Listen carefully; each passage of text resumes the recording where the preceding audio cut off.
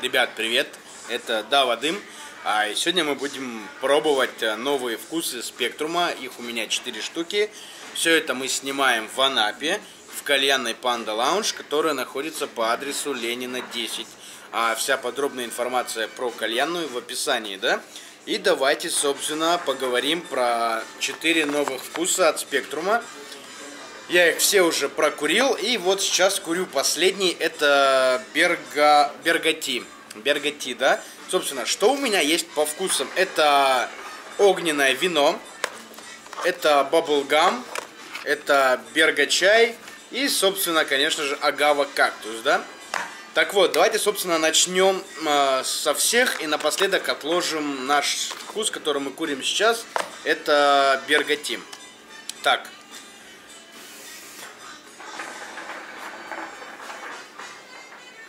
Как мы видим, у нас уже есть треугольные пачечки, но пачечки эти без акциза и не для продажи. Это промо-продукт, э, который не облагается, грубо говоря, акцизом, да? Давайте, собственно, смотреть вначале по вкусам, а потом я скажу еще интересные моменты, которые я заметил, да? Первое, это вино. А, Fire Wine. А, учитывая все вот это, мы его прокурили, понюхали и поняли, что, ну, это далеко не вино. Это больше похоже на какой-то безалкогольный глинтвейн, в который не добавили корицу, да, то есть пожалели корицы и просто отдали, сказали, пиздуйте нахуй со своим глинтвейном, да.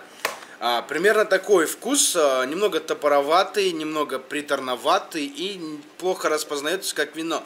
Но я считаю вообще, что вкус вина а, лучше всего, наверное, передает такие вкусы, как э, у других табаков, как э, виноград Изабелла, да. Вот он такой, вот есть что-то в нем винчиковое, да, но в Firewine а, здесь такого нету. Это реально а, именно а, глинтвейн.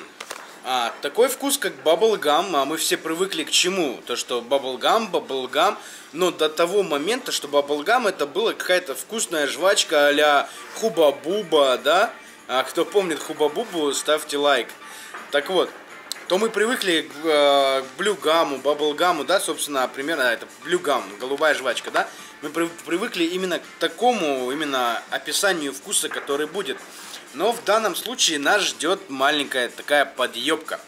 А когда этот вкус забивали, кальянчик сказал, что это ебаная звездочка какая-то и далеко не жвачка. Но когда у нас появился, помните момент а, у Щербетли был вкус баблгам, жвачка, и она отдавала кукурузу. И тогда, наверное, всех прояснился тот факт, что жвачки, которые используются именно в, табак, в табаке, то они не имеют как такового вкуса жвачки. И в данном случае это, этот факт подтверждает, да. Вкус довольно-таки свежий, приятный. И на концове, знаете, есть такой привкус тик-така. Вот прям вот выдыхаешь, и на небе языке остается такой тик-так. Довольно-таки прикольный, интересный, хороший. А этот мы вкус курим сейчас, я его до конца еще не распробовал, пока агава кактус. А, примерно, если его описывать, то я бы сказал бы так, что чего-то травяного в нем нет, а вот именно он похож на а-ля всеми любимый кактус, да, такой именно табачный кактус, э, не кактус, который в природе, а именно табачный кактус, как будто в него добавили еще немного а, фейхуи, фей, фейхуа, ну фейхуа, да, добавили в него. Получается такой сладенько кислый и ни капельки не травяной вкус. А я хотя от него ждал более какой-то травянистости и именно какого-то более интересного эффекта. Вкус в целом получился хороший, прикольный для миксов в самый раз, кто любит что-то свежее, кисло-сладкое, да, что в принципе очень сложно сделать.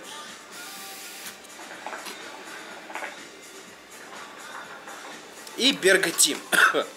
А, поначалу, когда его забивали, я думал, что меня ждет а-ля Бергамонстер. Очень яркий такой и непереносимый а, вкус бергамота.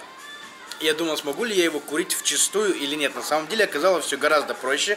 Это реально чай, реально с бергамотом, но который, наверное, заварили уже раза два стабильно. То есть, да, не яркий, но при этом чувствуются такие тоненькие Э, где-то отдаленные вкусы именно бергамота и присутствует эта чайная нотка.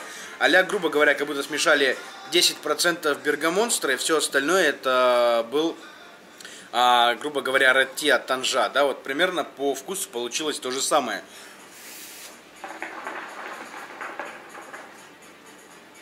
Еще из интересных моментов, а, немного изменилась консистенция табачного листа. Если раньше спектрум у нас был сухой, непонятный, грубо говоря, непонятная субстанция, которая очень сложно ложилась в чашку, то в данном случае с ней стало работать куда круче. То есть спектрум немного, походу, переработал фактуру табачного листа, а может и нет, может просто так получилось, да. Я точно не могу ничего такого сказать. А еще появился более приятный дым и момент, собственно, прогрева стал куда более лояльный, нежели чем раньше, когда нужно было немного потанцевать с бубном вокруг чашки, чтобы понять, как спектруму давать э, нужную температуру. И еще что мне очень понравилось, это то, что поменялась сама фактура вкуса. Он стал приятный, он не стал прыгать между ароматикой, стал более такой стабильный. А, возможно, это все связано с тем, что у ребят появился, появилась новая линейка Black. И за счет этого они сразу вместе с Black и переработали классический спектрум, да. А, непонятно, Black я еще не курил, Black у меня еще нет, хотя, по идее, должен быть спектрум, сука, блядь, где мой Black, надо обзор снимать.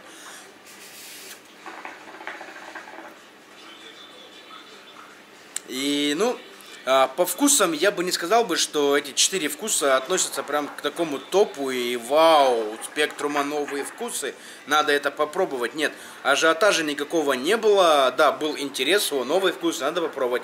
Очень прикольно меня зацепило вино и, конечно же, агава, то есть, да, агава-кактус.